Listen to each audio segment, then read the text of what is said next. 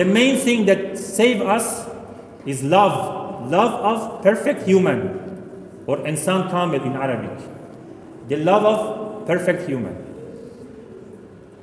When you believe in this, then you can understand what is the philosophy of tawassul, what is the philosophy of shafa'ah. All Muslims, they believe in wilaya. Allahu waliyul ladhin. Allah is our wali. All Muslims believe about Ul al-Am, okay? All Muslims, they go to Medina? Why they go to the Masjid Nabi and they cry? Sunni, Shia, all of them. So what is the philosophy of tawassul? Why shafa'ah? Allah, if He wants, He can forgive me. If He doesn't want, He doesn't. So what is shafa'ah? The Quran says no. Some people they have shafa'ah. Bi'idhnillah. In Ayatul Kursi, you read it every day. It's not understandable. Who is our wali? Allah.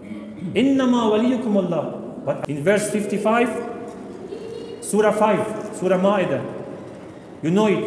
He said, Innama, just waliyukum Allah. Innama waliyukum Allah wa rasuluhu walladhina amanu. Those who give zakat while they are praying. And we have a hadith that he was Ali ibn Abi Talib.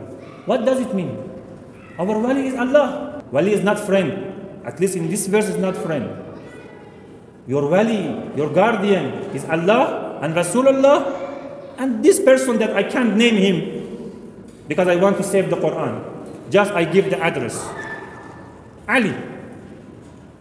Why? We don't need. You see, when Wahhabis they talk, how nice they talk. They say, be muwahid. Allah. Say Ya Allah. Don't say Ya Ali, Ya Muhammad. Ya Allah. It's nice. The difference between us and Daesh is not salat. They do salat maybe better than us. They recite Quran maybe better than us. Our difference is this love, is this wilayah, is this mercy, rahmah. The difference between you and them is that their ulul am is Abu Bakr Baghdadi, your ulul am is Ali, Ali ibn Abi Talib. It's big difference. Wal jannah. This is, this is the importance of love, love of perfect human. Allah says, you should give the reward of my prophet. I don't want any reward إلا المودة ذي القربى. Then it is understandable.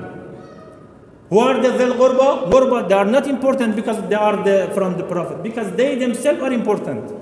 They are perfect human. Then you can understand what's the meaning of ذي القربى. What's the meaning of reward? What's the meaning of shafa'a? Because because of the shafa'a I should go and know them. I should love them. Because of tawassul I should go to them. So I, I should know them.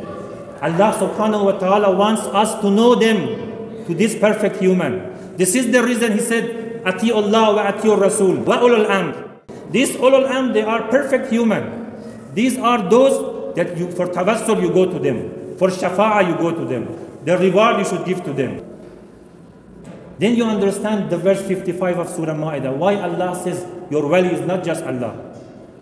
Then we know that what is the meaning of Iman. When you are Mu'min, you can be like Rasulullah. You can be like Ali ibn Abi Talib.